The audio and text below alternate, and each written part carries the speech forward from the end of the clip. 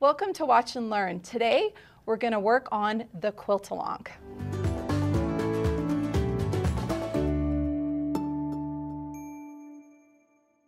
I'm Kim Sandberg, and today I've got Christina Whitney and Denise Dowdrick. The studio educators are here with you today, and we're here to talk about the surprise quilt along. How's it going, everybody?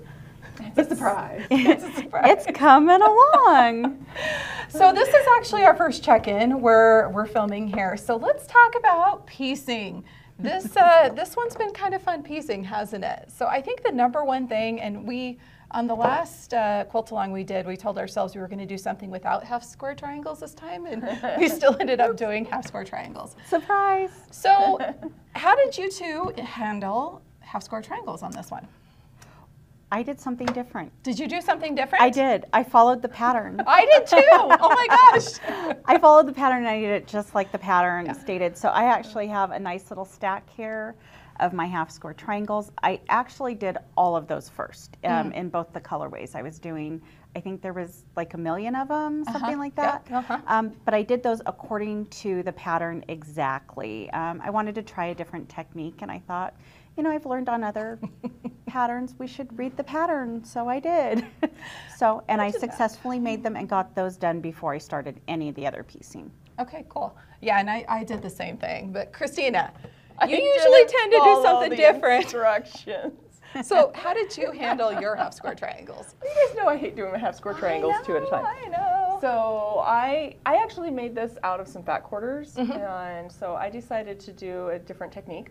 Um, I did the four inch blocks mm -hmm. instead of I think the pattern said like two and a half. Two and a half. Two and a quarter. Two and two. three quarters. I don't know what it said to cut it to because I didn't do it. Anyway, I cut my blocks quarters. to four inch squares. Mm -hmm. And then I put them right side together. I did the stitching around the outside of those four inch squares. Uh -huh. And then I cut them in half diagonally, pressed them open, and then trimmed my half square triangles down. So I had very minimal Trimming. Trimming to do, very minimal mm. waste, you could say. Mm -hmm. Doggy bed stuffers. so, yeah. So that's what I did with my half square triangles. And then I did sort of follow the instructions. You sort, of follow the instructions. Sort of. I like that. I, I do know, and Denise, you probably ran into this too. Following the pattern, there was a lot of trimming. I did involved. trim a lot. Yeah, I, I have a lot of kind of, surprised doggy bed material. Yes, there was quite a bit. But but it did come out nice, and they were very mm -hmm. easy to to square up, and I didn't have to worry about uh oh that side's a little scant. Like there was plenty of plenty of room. I was well within my comfort zone with the trimming, which is which is good. Yeah.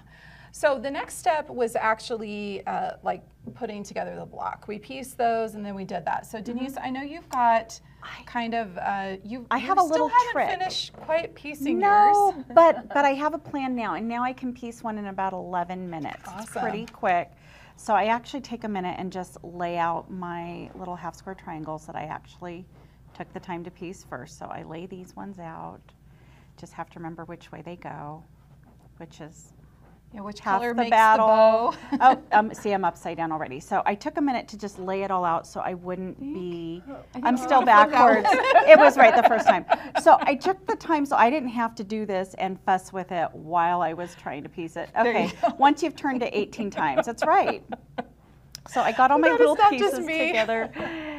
and then I laid out my extra little um, little strips Your here. Little ribbons. So I had everything cut out. Okay um, half square triangles pieced, everything cut out, had a little plan, and I laid out every single block that I've pieced this way. That one doesn't want to separate. Who cares? We'll deal with that later. You cut yours from the 10 inch squares, right? I so did. every block was different. I did. So I had to be really careful. Um, mistakes were made. There was some going back and repiecing some blocks here and there because I'm like, uh oh. Um, so that's when I actually I'll admit, I read the instructions many times mm. because there were times it's like, I don't need to do it that way. But I found following the instructions was very helpful.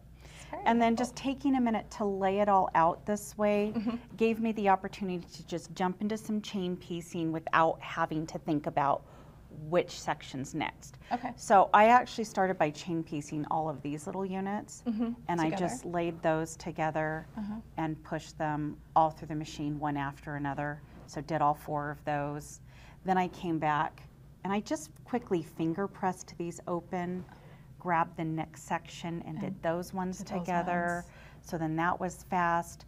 Then I started adding on these little pieces here in the center. Mm-hmm. Started adding these to the blocks, building those, and then I came back and started adding this. Um, this piece actually I did a little differently. I chain pieced that, Mm-hmm. and then I came back and added this piece. I had a really nice rhythm during it, so I did not have to cut thread at all until I was done with the block. And I would end by starting the next block and getting the next little unit down underneath. So it just kept it going, no cutting the bobbin thread, just kept pushing. Like I said, I timed it out 11 minutes. Look at you. So I still have a few more to do. I've done all my gold ones, but Uh-huh. I have um, about half the white ones left to do here. So my two different colorways that I'm doing on a cute little Christmas quilt. So I'm excited to see it coming together.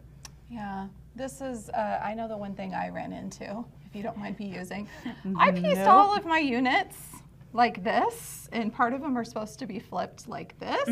So I had to unpick half of them. Um, I did four that way. Luckily, I only made like 10 blocks, so it wasn't that many, but.